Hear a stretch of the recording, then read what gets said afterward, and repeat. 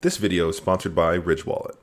Hey, what's going on guys? Welcome back to another video. So today I'm going to be taking you through the space where I spend most of my time day to day. As a full-time finance professional, online student, and part-time creator, I'm often in this room between 12 to 16 hours a day, which is why this space is so important to me, as your space would be to you.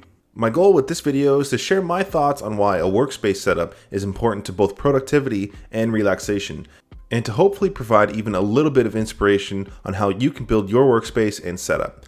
Your office or desk setup or general workspace is an extension of yourself, which is why so many of us spend a lot of time trying to make our spaces perfect. And for this space, I don't think it will ever truly be done. As with most things, it changes year over year, but here's what I have in the middle of 2022. And of course, everything in my office will be linked down below in the description. So what I think I'm going to do is go counterclockwise around the room and starting with the bookshelf. This bookshelf itself is what I think is pronounced Fjallbo from Ikea, which matches the shelves I also have. Honestly, this room is pretty tiny, so I figured it'd be best to build vertically. I also want to have some game consoles in the space, but I don't always want them at my desk. But working top down from the bookshelf, the top shelf here is my mini gaming console setup. This has an M32Q from Gigabyte, which is 165Hz 1440p display. It's loaded with ports and it's actually insanely versatile, perfect for up here. This is hooked up to my Xbox Series S, which pairs perfectly for 1440p gaming at 120Hz, as well as my Nintendo Switch.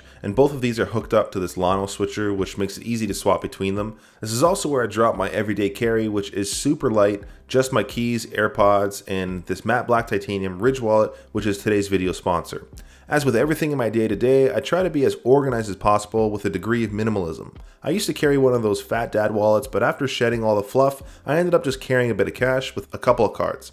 The Ridge wallet can hold up to 12 cards and is incredibly durable, which is why it's backed by a lifetime warranty. With over 30 colors and styles to choose from, there's something for everybody. Check the link down below in the description and use code MINIMAL to save 10%. Thanks again for Ridge Wallet for sponsoring this video. And lastly, I've got this matte black lamp with a warm Edison bulb. The warm light just makes the whole space cozy in the evenings. Moving down a shelf, all of this is plugged into this Powercloud from iSwift. It's a different take on a power strip but has a little bit of a nicer aesthetic. I've got my monitor and game consoles hooked up as well as my MagSafe chargers for both my Apple Watch and iPhone. This actually puts out up to 65 watts via USB-C as well, so I'll sometimes swap out to charge my iPad on here. And I've got this micro USB handy, which is great for charging my lighting batteries and keyboards. But jumping back up one shelf, this one is one of those personal things that I really, really love in my space, and that's the CD player. There's something just so satisfying about picking a CD, popping it in, and just listening through the entire album. Playlists are nice, don't get me wrong, but my collection of 90s and 2000s punk rock is just too nice to dive into every day. And this is Fred, literally just Fred. Apart from that, I do have my three controllers for my Switch, Xbox, as well as a spare controller for my PlayStation 5, which I sometimes swap between here and the living room. But the next shelf down, I've got some Bluetooth speakers and some charging stuff. Not too much down here. I do like to keep my boxes for tech for resale, and I do also keep my keyboards here, which I swap out depending on what I'm doing. And the last shelf here at the bottom is where I keep my guitar amp. I love this tiny Vox amp. It fits perfectly, but has big sound. Sometimes all you need is 5 minutes to riff in the middle of the workday to pump you back up.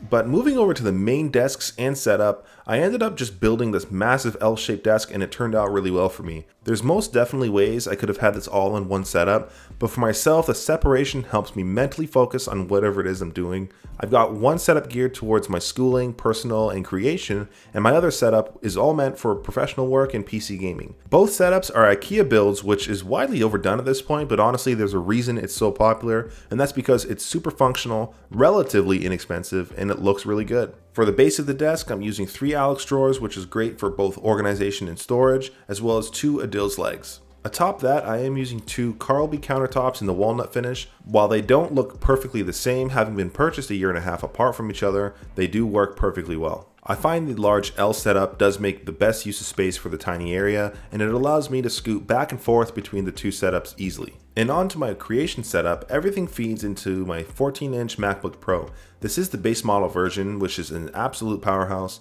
The base model does come with an M1 Pro chip, which is plenty powerful for me. The only thing I wish I had upgraded was the storage.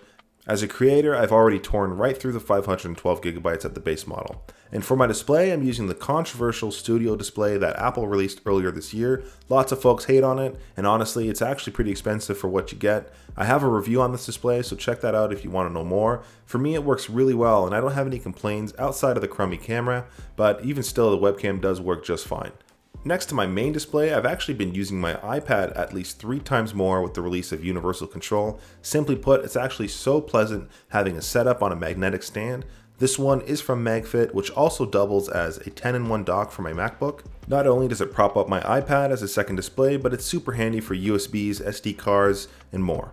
The iPad I have is the iPad Air 4 from 2020. I was thinking about snagging one of the new M1 chip iPads, but until they update iPad OS, I don't really see a purpose. And until they make those large updates to iPad OS, this one is perfectly fine as it does everything I need it to do. Now, I've been using them less and less with the studio display speakers being so good, but the stereo HomePods I've got set up here are great for controlling lighting in the office, as well as playing music when I am working, but I think I am going to be repurposing these to use in the rest of my house. And when it comes to voiceovers and general recording, I recently got this Blue Yeti and boom arm setup. It's mounted off to the side, so it's out of the way, but the boom arm is long enough to use when I'm ready. And for peripherals, I mainly use the Apple Magic Keyboard and trackpad. I really dig mechanicals, but sometimes a quiet chiclet keyboard fits the mood perfectly.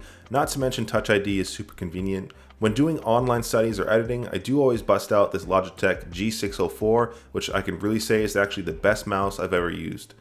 And to top off the ambience in the office, I've got this Nanoleaf light strip on the back end of my desk to swap to any color fitting the mood. And to scoot between the two setups, I've got this Ergo chair from Autonomous. It has loads of adjustability and the quality is fantastic. Now, going on to my gaming and work setup, this is where I find myself gaming less and less these days, only because the latest gen gaming consoles have pulled me away from PC gaming more and more.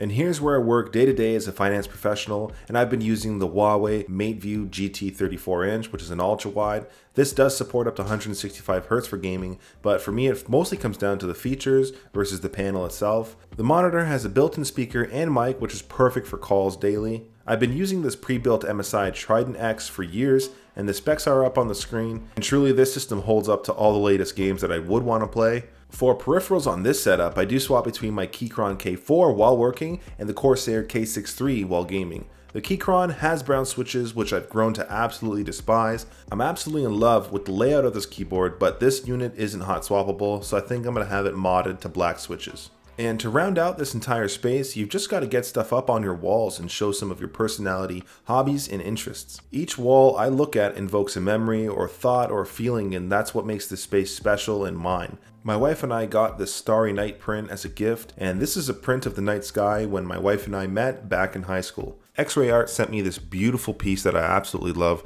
This is a deconstructed iPhone 4 from back in the day, which was the first Apple product I ever purchased. They do have other Apple products as well as Nintendo handhelds and more, so check that out in the description. Now on my shelves, I've got more boxes of course for resale, an Xbox One S, and some family portraits. I don't really read much either, but as a huge Blink-182 fan, this Travis Barker biography was such a good read, and as a Harry Potter fan, you've just got to have a Horcrux or two laying around. And to round off the art, I've got two canvases from each of my older brothers that painted them up for me. And lastly, the two most prized items in my office are definitely the guitars that my beautiful wife gifted to me. The Hollow Body is the signature guitar from the previous frontman of Blink-182, and the acoustic acoustic guitar was the first gift my wife bought me back in high school when we were dating for like three months. People thought she was nuts. So that's my space, guys. Again, it's never truly finished. I might change it up a couple times a year or not at all. This space is my own little den of creativity, productivity, and relaxation.